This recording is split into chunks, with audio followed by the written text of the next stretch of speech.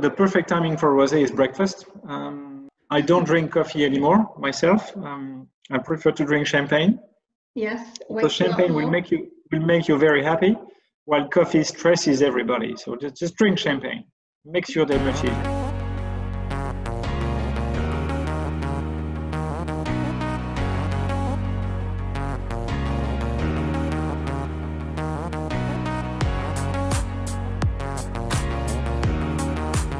First of all, this is not a virus on the label, okay? Just to make sure, because we got that question very, very often right now.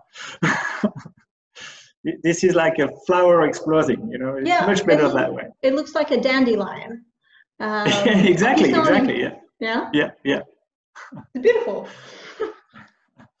Um, anyway, uh, beside the joke, um, Insouciance is a blended style rosé. So when I say blended, this is just before bottling, we can blend some red wine that we make from very old vineyards and the white base. Um, just and, and I like that technique because I can be once again very precise and I can be very um, specific in the style I'm looking for when I drink rosé, I am um, I'm very selfish, but I make the wine I can drink basically. Uh, and I like rosé when this is very um, high tone, very delicate, very uplifted, and with a great salinity on, on the um, in on the palate in the palate of this wine. Mhm. And I think blended is for me the key to reach that that goal. I also like to use slightly more Chardonnay in in the blend because I think Chardonnay brings more flower kind of flavors and also can bring um, a great um, um, sharpness on the finish of the wine. Mhm. Basically, I like rosé when it makes me thirsty.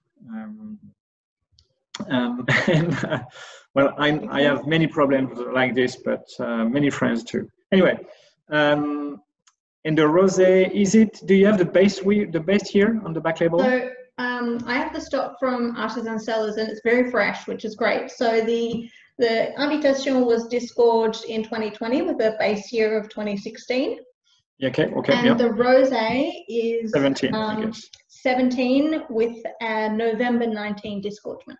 Okay, so the rosé, basically, this one stayed, uh, you know, yeah, 20, 20 months on, on, on the um, of aging. Dosage is five grams.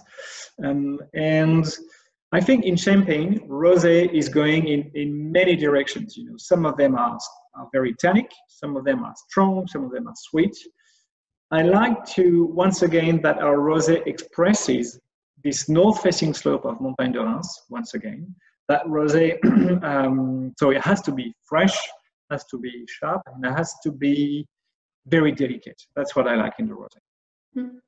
And so in this rosé, you have um, in the red wine, it is not just Pinot Noir, but also Meunier, I believe. Yep, yep. Both of them roughly half, half, half of Meunier and Pinot, and we go whole cluster ferment on, on the red. Um, no distemming, just punch down every every 12 hours or 8, 8 to 12 hours. And then we age the, the red wine for 18 months in barrels before using it for the rosé. Hmm And, and Well- but this is Yep. a very small proportion of, of, uh, of red wine. We use on, on the 17 base, the one you're having now, this is not even 5% of red wine. This is something like 4.5% of red wine in the blend. It's um, it's absolutely beautiful, and I don't know if you guys can see, but it's like a, a quite intense, um, quite intense blood orange kind of color. Um, Yep. It's not, it's not really pink. It's it's more towards the orange spectrum. Do you know that ro- the perfect timing for rosé is breakfast? Um, because I uh, agree. I, I don't drink coffee anymore myself. Um, I prefer to drink champagne. yes. So wakes you up champagne will make you will make you very happy, while coffee stresses everybody. So just, just drink champagne. Makes your day much easier. I like that. That makes absolute sense. Champagne for breakfast. Do you know, I, I used to work a long time ago at um, Coldstream Hills in, uh, Oh Yes, yeah, in Yarra Valley. yeah, yeah. That's And um, back then, this was still, uh, you know, James Halliday, the, the Yes. wine writer. mm-hmm. he was still there, uh, and he was just living up up to just really close to the winery, and he had this tradition of bring of um, um, cooking a barbecue for Good Friday. Uh, like Easter weekend, uh, Good Friday for all the crew, the, the winery crew members. So we were maybe 12 or 15 people working there. So barbecue nine in the morning and champagne for everybody. And I can tell you it was a very nice day. That, uh, yeah, that sounds perfect. I was about to ask you what the um, what your food pairing um, suggestions would be for this rosé, but I like the idea of barbecue. Yep. Barbecue breakfast. Well, barbecue works well, but I, I like the rosé actually very much with um, uh, with you know what's the English uh, scallops, scallops carpaccio. Yep. Scallops, yeah.